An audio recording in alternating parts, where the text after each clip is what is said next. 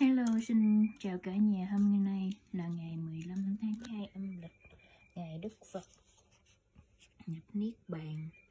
Thì à, mình ăn chay, mình ăn uh, bánh mì, bánh mì với lại um, chấm cái đồ kho cả nhà. Đồ kho chay của mình làm thì cách làm rất là đơn giản ha. Mình mua nấm uh, đùi gà về xong rồi mình sẽ cắt miếng dừa ăn mình ngâm với muối ha cả nhà.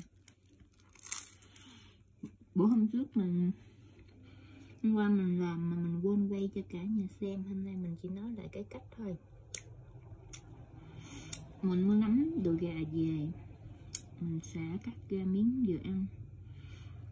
Xong rồi mình ngâm muối ha, ngâm muối rửa ba bốn nước xong rồi mình sẽ bắt bắt cái nồi nước lên trụng sơ. Để là bỏ mấy cái um, chất độc đồ này kia đó cả nhà. Xong rồi mình đồng tỏi mình lên mình khử nó. Mình khử cái nấm cho nó thơm ha. Xong rồi mình sẽ bỏ nước tương vào đường. Một tí muối. Bạn nào ăn bột ngọt thì bỏ bột ngọt vô xào cho nó nó mềm dịu lại, nó ra nước xong rồi bắt đầu mình sẽ bỏ chả lụa vào. Thì cái nấm này đó ở bên đây người ta gọi là oyster mushroom nha cả nhà. Còn chả lụa này thì ở bên đây bán một cây là 7 đồng nha cả nhà.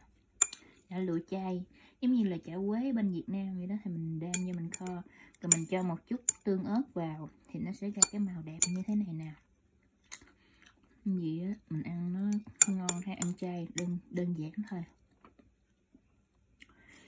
Thì những ngày chay thì mình ăn như vậy. Cái món này bữa hổm mình quên quay cho cả nhà cách làm. Cảm ơn cả nhà đã theo dõi nha. Xin hẹn cả nhà những video sau. Xin chào.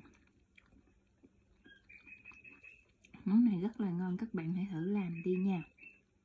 Ngon, rất là ngon.